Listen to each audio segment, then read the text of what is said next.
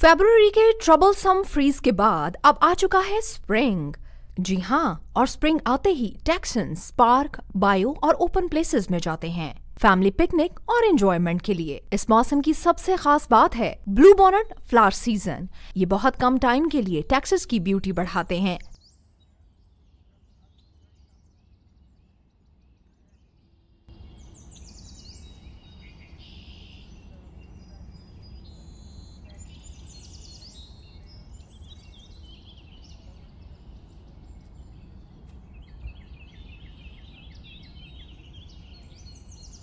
Blue bonnet Texas का national flower है। Houston में ही मोस्ट फ़ेमस पार्क्स में आपको ब्लू बोनट के पैचेस नज़र आएँगे।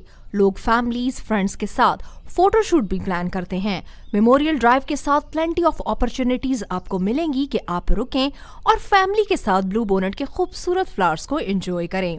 हल्के पर्पल फ्लावर्स देखने वालों को और भी अट्रैक्ट करते हैं। इस बार खूब चमकते और खिलते व्हाइट और पिंक फ्लावर्स भी शहर की रौनक बढ़ा रहे हैं। हर स्प्रिंग सीज़न में टेक्सन्स को ब्लू बोनेट फ्लावर्स का इंतज़ार रहता है। कुछ विद इन सिटी इन ब्लू बोनेट पैचेस का इंतज़ार करते हैं तो कुछ आउट सिटी जाकर फैमिली के साथ फन और एंजॉय करते हैं।